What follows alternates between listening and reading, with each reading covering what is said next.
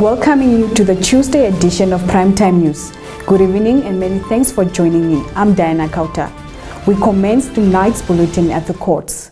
The Supreme Court delivered its sentencing in the Shannon Wasserfall murder case. The two co-accused, Azan Madisia and Stephen Mulundu, were convicted of obstruction of the course of justice. Madisia was sentenced to six years imprisonment, whilst Mulundu was sentenced to four years imprisonment. On to bilateral relations. Executive Director in the Ministry of International Relations and Cooperation, Ambassador Penda Naanda, earlier today opened a bilateral review session on cooperation with Spain. The session covered an array of matters pertaining to the country's cooperation as well as multilateral matters. Let's listen into a portion of the deliberations. Our world is faced with such an array of global challenges threat to international peace and security, climate change, global economic instability, supply chain problems, migration, and so much more. We can, however, not we can, however, only be hopeful that through combined multilateral efforts, we will be able to overcome these challenges and make the world more peaceful.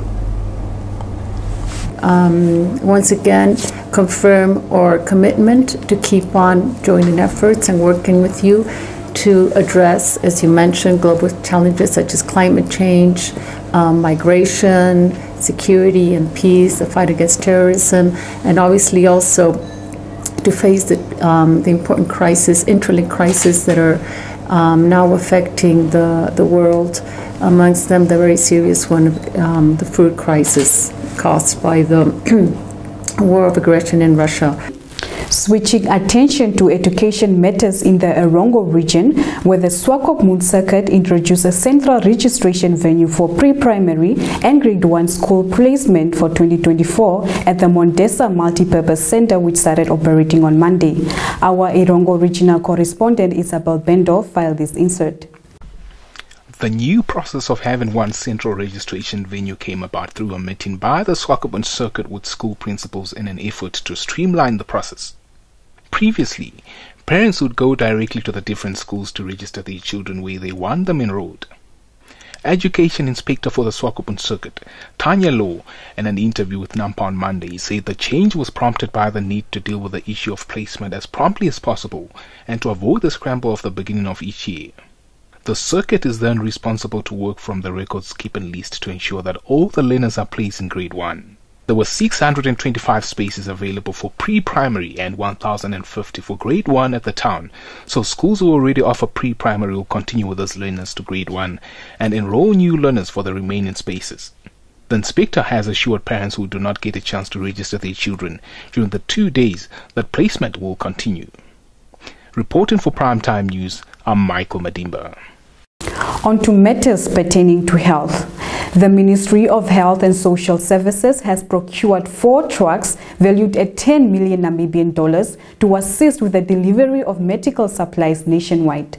The Minister of Health and Social Services, Dr. Kalumbi Shangula, at a press conference held during the National Pharmaceutical Services Forum in Otjiwarongo on Monday, noted that the trucks belong to the central medical stores and will improve the transportation and distribution of pharmaceutical and clinical supplies across the country.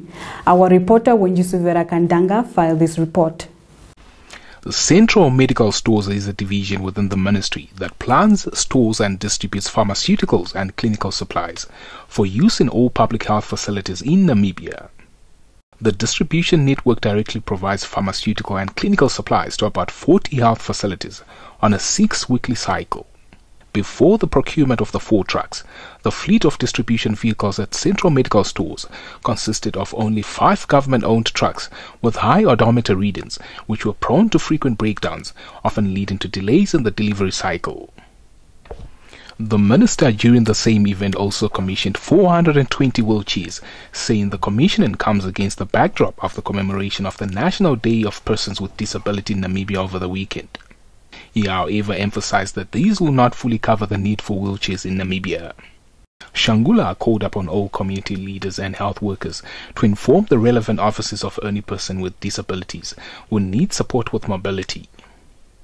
Otjozondjupa Region Governor James Uerikua also said they have been receiving assistance from various stakeholders that have donated wheelchairs to the region. Reporting for Primetime News, I'm Michael Madimba. Stay tuned for the business segment.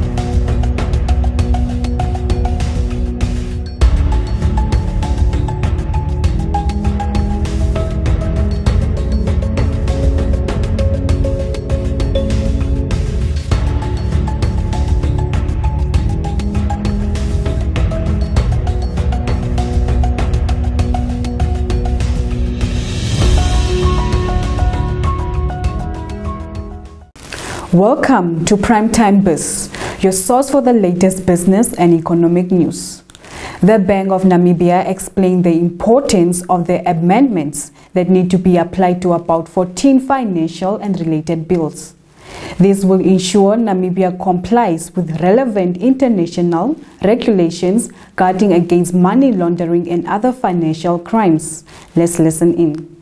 The assistants highlighted that we do not have a legal provision or other mechanisms in our legislative framework uh, for the Namibian competent authorities to exchange information indirectly with uh, foreign non-counterparts, and that there is no legal basis for supervisors to cooperate with foreign counterparts on anti-money laundering and uh, combating or financing of terrorism matters.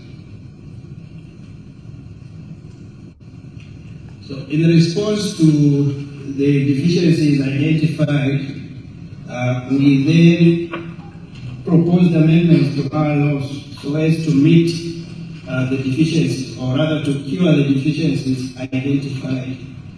And in so doing, we then proposed to introduce uh, to introduce uh, a definition of what a terrorist organization is, and this definition is contained on page one of the draft uh, amendment bill. Our next insert focuses on the agro-business sector. In an exclusive interview, primetime news anchor Michael Madimba sat down with Israel Mukumbeya, the founder and manager of CDJ Agricultural College based in Groothoop, who shared a bit about the college and the agro-business sector at large. We now get to sit with the man behind the magic, the proprietor of CJC Agricultural Training College, Mr. Israel Mukumba. Thank you so much, sir, for having us. Let's get right into it. Could you kindly share with us a bit of, of background on what the project is all about? We realized that we were pace setters because most people started practicing the same around within Groothoop. Even up to today, wherever you go, you find most people have started producing chickens for the market. So this is how it started on the background until we realized since we are pest setters, the manure of the chickens, we started with the horticulture, with the garden which you are seeing. We had nice produce here of maize crop, um, cabbages, and said that we had a lot of visitors come who were excited of what we were doing. And in doing so, we realize we are pace setters. Why should we not establish a training center so that we bring as many people and uh, then we work as a team and start our production? Because if you produce alone, uh, you are not creating any market. But when you teach other people to do the same, then you are together you create a good market. That's when we happen now to start supplying AMTA and the like. But we are grateful that we develop into a training center that people accepted it. Until today, we can safely tell you that we are accredited by the Namibia Training Authority to train the students whom you have seen on the other side. To view the full documentary about the Agricultural College as well as the agro ventures taking place in Groothoop, catch us next week Wednesday for an insightful edition on Nampa TV's YouTube channel. With that, we have reached the end of our top news segment for tonight. We now shift our attention to the weather focus throughout the country.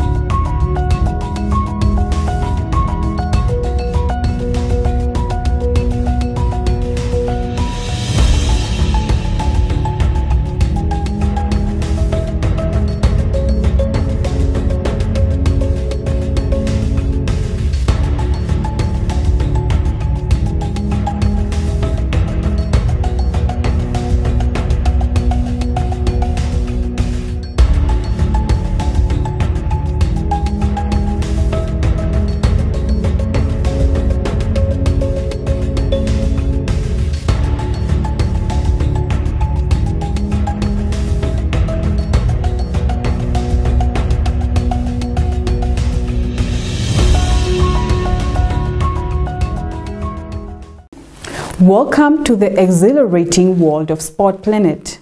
Kylian Mbappe has told Paris Saint-Germain he will not take up a one-year contract extension according to reports, so he could be sold this summer or will be able to leave as a free agent at the end of next season. The 24-year-old signed from Monaco for about 200 million US dollars in 2018, which was a world record fee for a teenager, continues to be linked with a move to Real Madrid. According to reports, France World Cup winner Mbappe left the PSG hierarchy stunned by the decision, which was presented in a formal letter and follows on from Lionel Messi announcing his departure to Major League Soccer side Inter Miami. Staying with football, but with a South American twist. Chile international midfielder Arturo Vidal on Monday revealed he plans to leave Flamengo when his contract with the Brazilian club expires in December. Vidal, who joined the Rio de Janeiro outfit on a free transfer last July, was a key member of the team that won last year's Copa do Brasil and Copa Libertadores titles. Stay tuned for your sports roundup.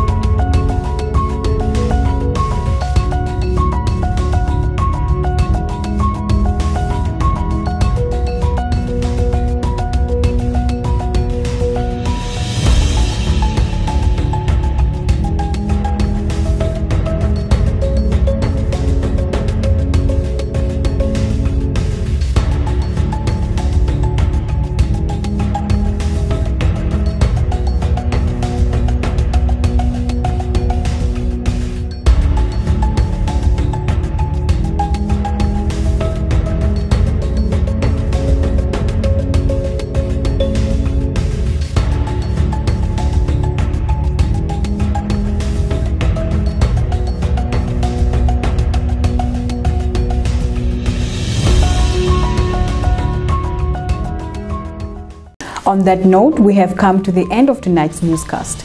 Many thanks for watching. Do make a date with us again tomorrow as we bring you insights from the local, continental, and international arena. From myself, Diana Kauta, and the creatives behind the scenes, it's good night.